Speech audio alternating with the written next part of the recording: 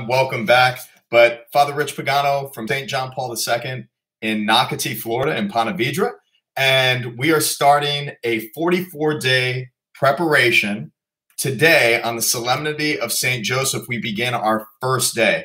And it's my hope as a pastor to lead our community in this devotion so that we may consecrate our efforts through St. Joseph to Jesus as we build out our beautiful campus. We have so much responsibility on our hands to continue to culture our Catholic faith in this beautiful environment. And that also includes you, to our brothers and sisters that connect with us each and every week online.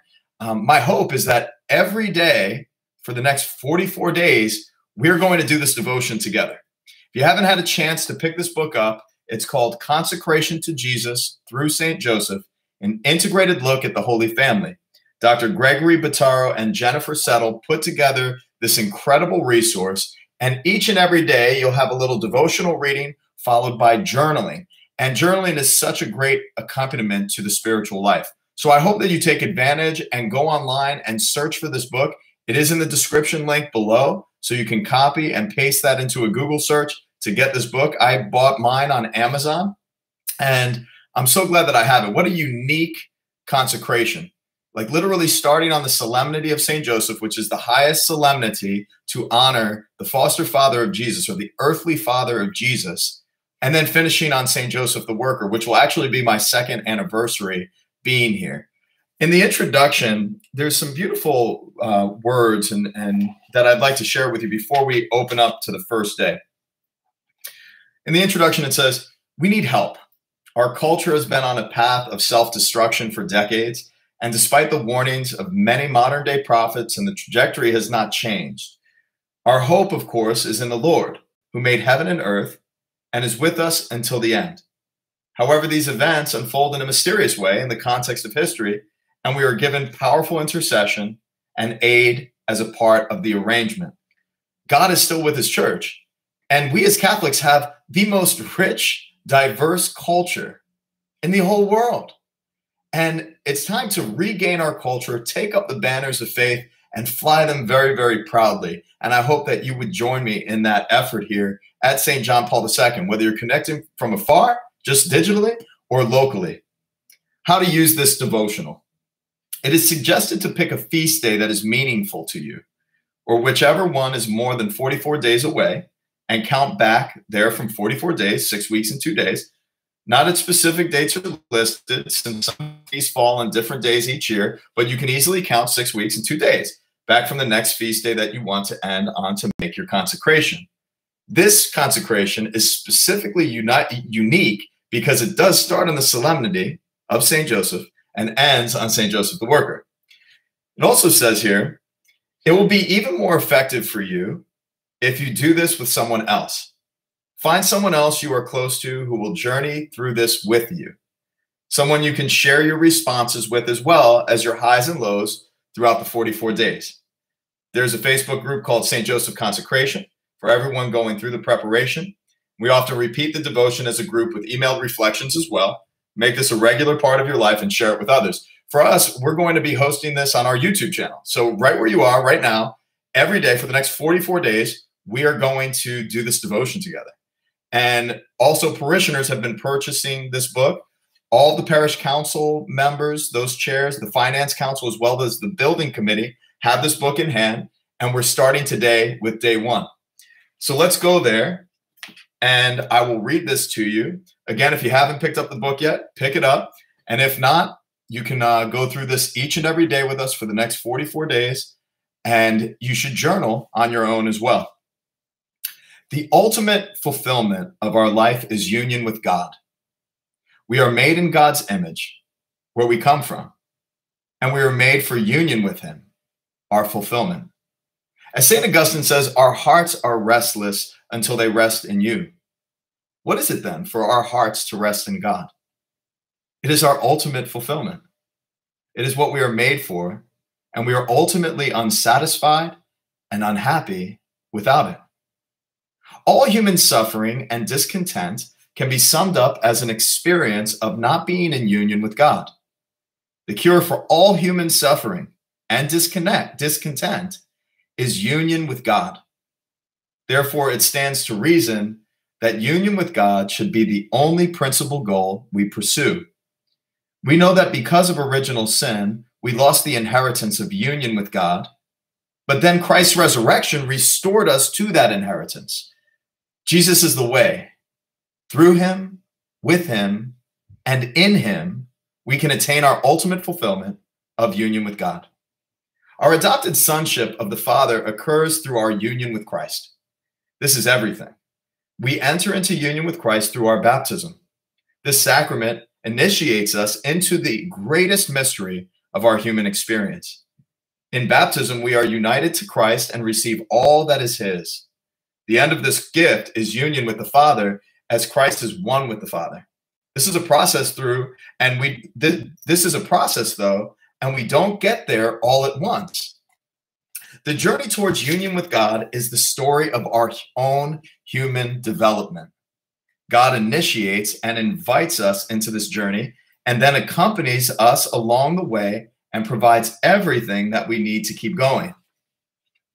Through Christ, he unites to our humanity, and our humanity can return to him through Christ. This means we enter fully into God through the door of the humanity of Christ. We draw our attention to the humanity of Christ to understand ourselves. We cannot hope to develop our humanity in some way differently than Christ developed his. And so we humble ourselves to accept the shocking mystery of God's humility in his incarnation.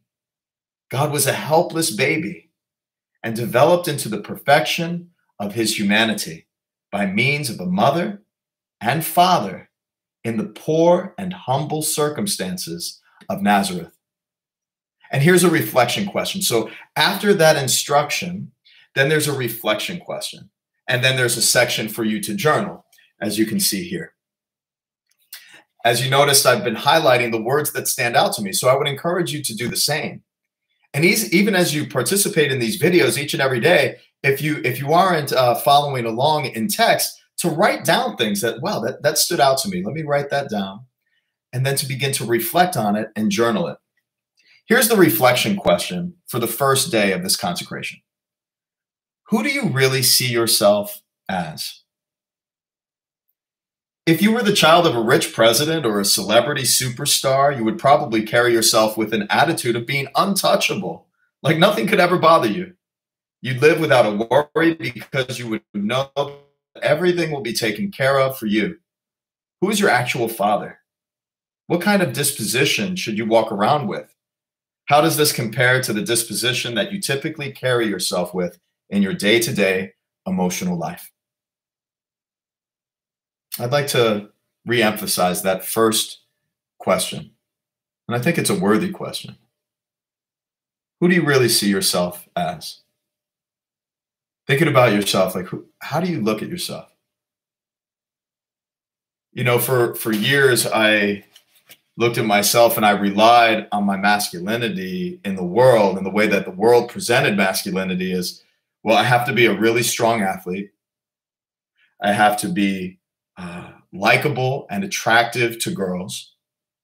I have to have money in my pocket. And then all of the things that money can get. And that's how i'm going to present myself. That's who i am. You know and i thought it would be if i'm wealthy if i'm attractive and if i'm strong.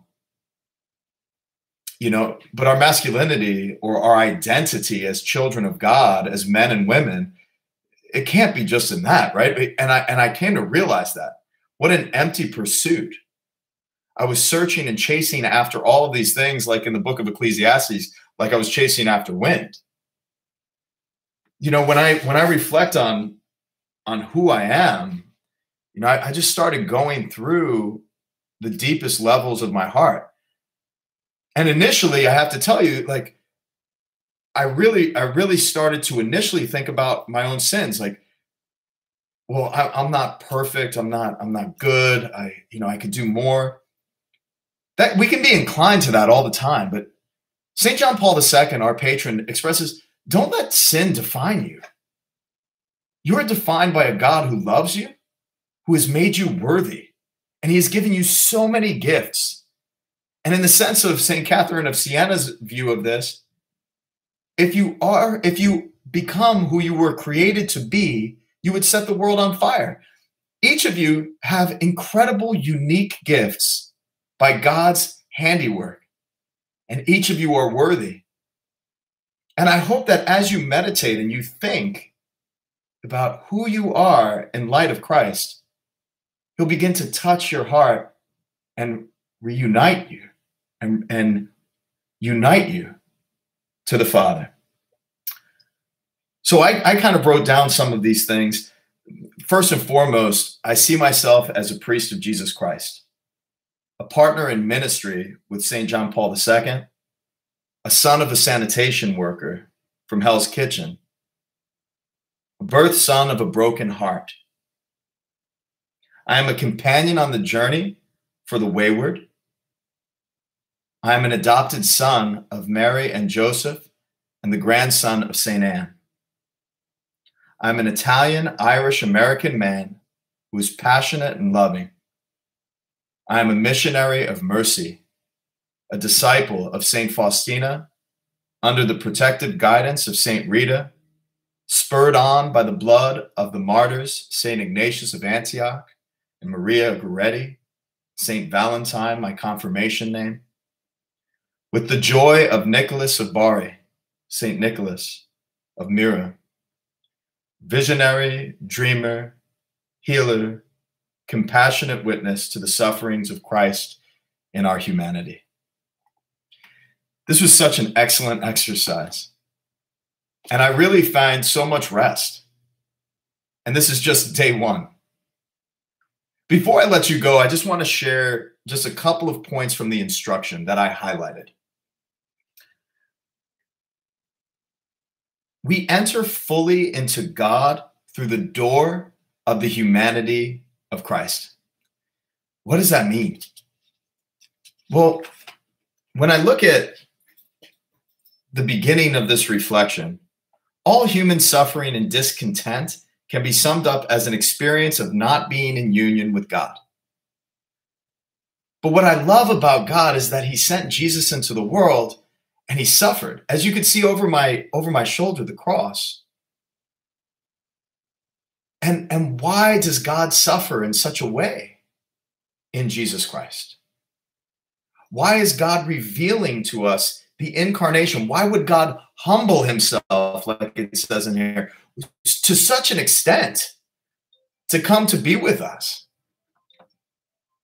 And, and ultimately, it's for God to reach down into our own suffering, and through the doorway of his humanity, we can have communion. And now, what separates us from God is now what brings about a greater unity.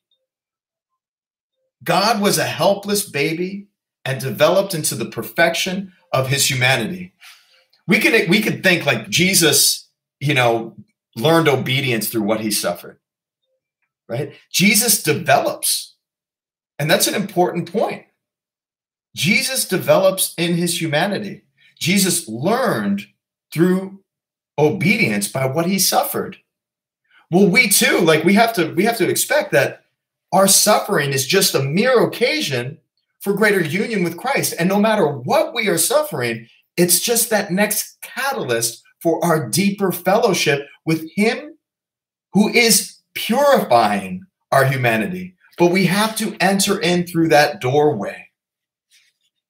So, as we conclude this time together, I'd like to conclude each of, of these 44 uh, day exercises with the prayer of Pope Leo the 13th.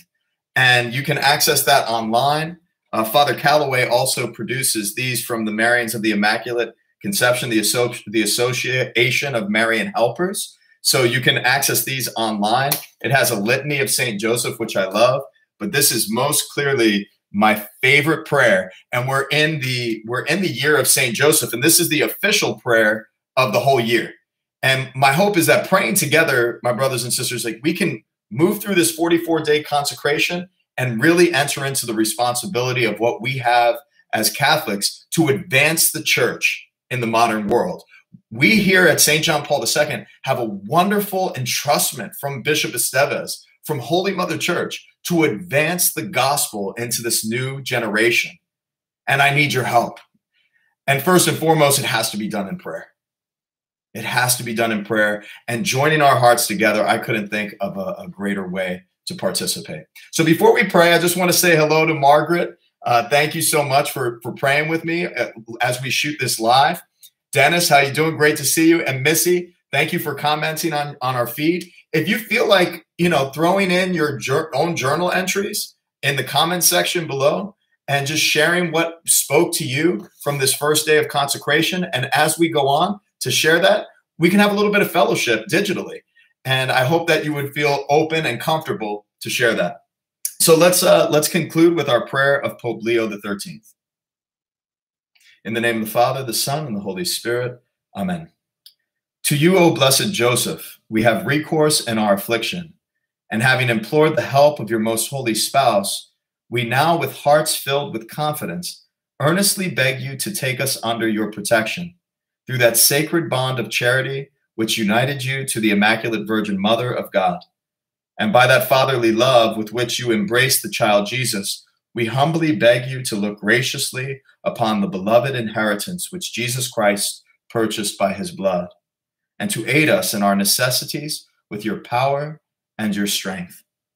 Defend, O most watchful guardian of the Holy Family, the chosen children of Jesus Christ Keep from us, O most loving Father, all blight of error and corruption. Aid us from on high, most valiant defender, in this conflict with the powers of darkness. And just as you once saved the child Jesus from mortal danger, so now defend God's holy church from the snares of the enemy and from all adversity. Shield us by your constant protection so that, supported by your example and strengthened by your help, we may be able to live a virtuous life die a happy death, and obtain everlasting bliss in heaven. Amen. My brothers and sisters, I hope that you enjoyed participating in this first day of consecration. As we continue to produce these each and every day, the videos will get a lot shorter. So it'll just be a, it will do the, the day's reflection and uh, answer some of those questions. And I'll do a little sharing and then we'll, we'll move on throughout our day. But again, want to encourage you, pick up the book, pick up the prayer of St. Leo. You can access those online and I look forward to seeing you tomorrow. God bless, peace, and happy solemnity of Saint Joseph, the guardian of the universal church, the guardian of the human family, the terror of all demons, and a great worker and carpenter that I hope will build out this beautiful community with us here at St. John Paul II. God bless.